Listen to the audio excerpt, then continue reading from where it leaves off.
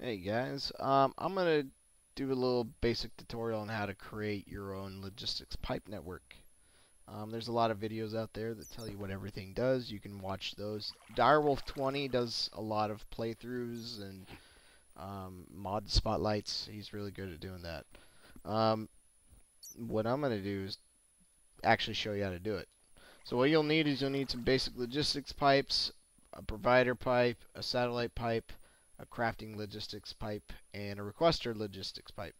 So you need all those. And you'll need a crafting table, automatic crafting table. You'll need a chest or two and some golden transport pipes. But there's my network. As you can see, it looks kind of complicated, but it's not. This is how it works. The logic of it is you fuel your network with power. This is a logistics power junction. It accepts Minecraft joules, MJs, or electric units, which is uh, Industrial Craft 2. I fed it MJs. Bam. Fed it in there, works. Hook it up. Cool. Basic logistics pipe right in there. So you light it up green. Green is good. That's great. Now let's give it some let's give it some network going here. Yeah. Alright, so um it does nothing yet. Cool. I'm gonna set up a lid or a, a requester pipe. Bam. That's awesome. Requester pipe turned green. That means it's good. It works. Now there's nothing there. So the problem is, is I haven't taught my network how to do anything.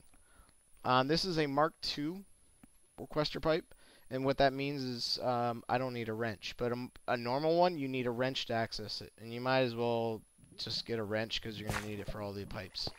So I use a wrench on that basic pipe. That's the interface. What this means is it requests any item I put up in here. It wants those items. Whenever any of those items go through the network, it will go to that route unless otherwise specified. Uh, the default route, and I'll show you what that does in a minute.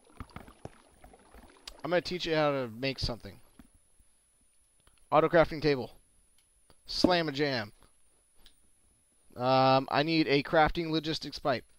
So bam! Because this is a problem. Every every little network or uh, every little intersection, you need a basic logistics pipe. So you then you're instead of it sending it in random directions, your network will know where to send it, making it smart. So slam it, smart, basic pipes, cool. Now we got a, a logistics pipe here. That's this is the interface for the crafting one. Cool. I'm going to open it, which opens the crafting table, like right-clicking on it, works. Bam. I'm going to make tin, or uh, bronze. Bam, bam, bam. Bam. Cool. Auto crafting table set up with that. Let's import it. Bam. Now my network knows how to make bronze. Bam. I can make bronze. I'm going to make some bronze. Oh, crap. I don't have any tin or copper. Well, tits McGee, man.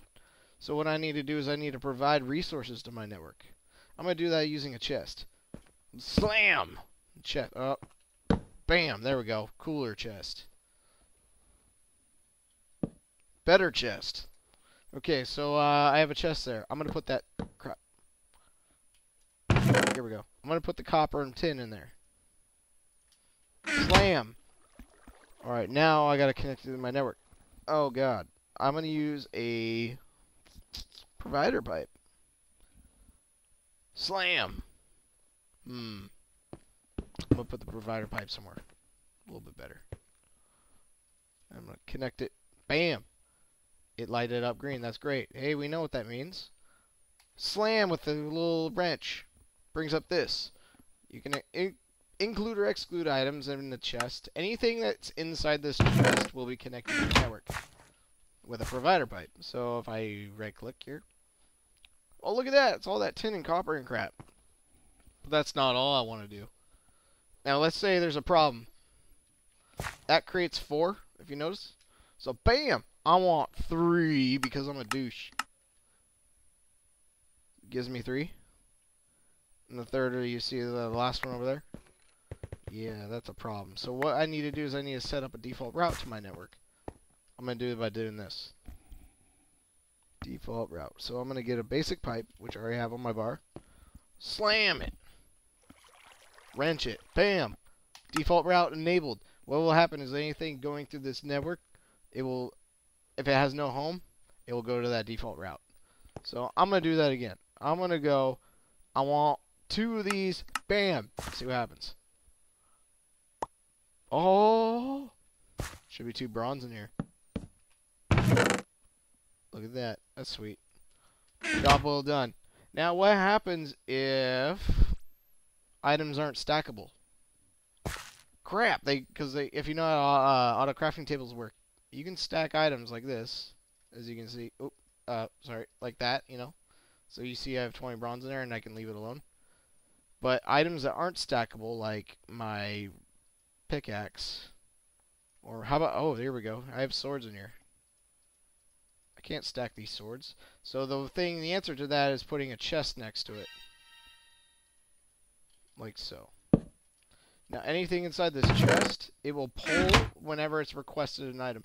But what we have to do as well is we have to set up a thing called a satellite pipe. So I have a satellite pipe here. Bam! Oh, I have another intersection right here. I need to put up a basic pipe because it makes my network smart. So I'm going to do that. Bam. Should light up green. It should light up green. Don't be stupid. There we go. That took a little bit longer than I thought. Slam it. I'm going to give it an ID. Bam, 23. It's my ID. Now go back to your little crafting pipe. Set it to 23 as well. What will happen is every time an item under the satellite for the input, like let's say I put diamonds there, two diamonds. Whenever an item like two diamonds is requested from this crafting pipe, it will send it to this satellite pipe with that ID I set.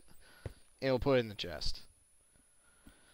Although I'm not going to do the, that. I'm going to get rid of this from the inputs, from the normal ones. These will go to the crafting table. All these. These will go to the chest. So I'm going to go grab a couple tin, or copper and a tin, whatever. And then I'm going to put those in that satellite slot. So bam, and right, I'm using right click, bam, bam, bam. I got three copper, tin what will happen is instead of it going to the crafting table, it will go to the chest. And if you really want to be cool, you can put two there. You're cool. Now I'm going to request some uh, some more crap. I want 10 bronze. Bam.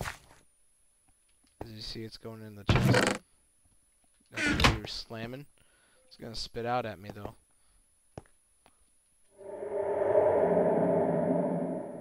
Think it is. Why is it? Why is it? Why is it not? Oh, because I have uh, bronze in there. Oops. So, uh, my bad. But it shot it out, so now I have 30. Because I made 10. Should be some excess. There it is. Okay, so that's how you do it. Um, so this works, and because I did this, what will happen, um, whenever you request multiple stacks, let's say 20, it will it can potentially keep sending copper over, right? So what will happen is these will all fill up to 64, and then it'll keep feeding copper into it. What will happen is it will reject it because it can't go into that table, and then it'll send it back to the network. Uh, the network doesn't know where to go, so it'll put it to a default route, causing a hell of a lot of lag. Your whole server will lag. So what we do then is instead do what I do, is I use a satellite pipe. I use a satellite pipe and use these for that. That makes it super easy, because then I can feed whatever the hell I want into this chest, and then the auto crafting table knows what to do. And then here, that's cool. I'm going to put this there.